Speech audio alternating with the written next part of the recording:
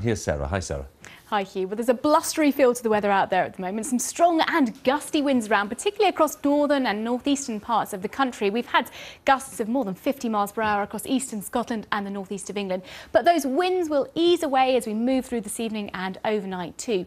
Clear skies for quite a while across central and eastern areas. That's where you'll have the best chance of catching a glimpse of the meteor shower. Temperatures on the low side down to single figures in many eastern areas, turning milder in the west because we've got more in the way of cloud working in. That cloud bringing one or two spots of light drizzly rain across western areas and around the south coast during the day tomorrow. We've also got more persistent rain heading into the northwest later in the day with the winds once again picking up. But in general, it's a quieter sort of day, less windy, a bit more in the way of cloud compared to today, and temperature-wise between around about 11 to 14 degrees or so.